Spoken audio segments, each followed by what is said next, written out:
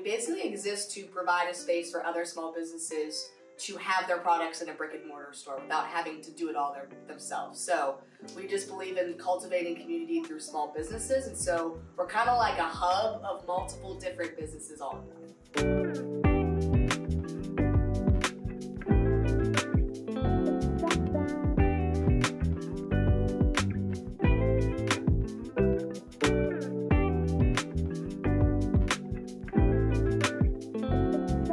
Think just like showing people that it's worth spending more money for a higher quality product, um, that's definitely a challenge. But for the most part, people that come in, they want to support these local businesses. That's not usually a barrier. But I think the way to overcome that is just to provide, to show why there's value in buying local.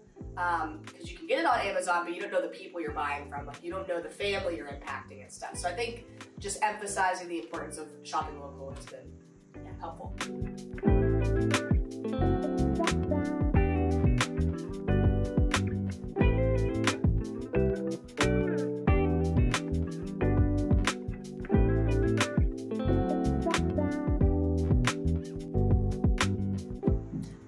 Just brings life to Indiana, especially on this end of town. Like on Philly, there's a lot on the other end of town, but on this end of town, there's not much.